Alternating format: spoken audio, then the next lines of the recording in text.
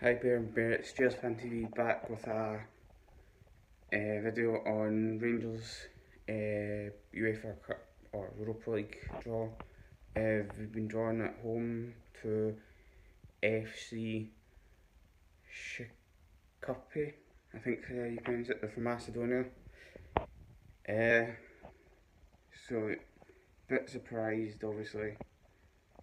The away game is going to be in Macedonia, but you know, I think when you look at probably other teams available or in the the draw, I know uh, Niederkorn, who were uh, from Luxembourg that we had last season. Uh, so yeah, uh, just a quick video, but like I said, just to let you know, uh, Rangers will play SC Shkupi. Hopefully that's pronounced right Macedonia, and I'm not sure if there'll be a draw after or just now about who. I think they might do another draw after, or I think they'll wait till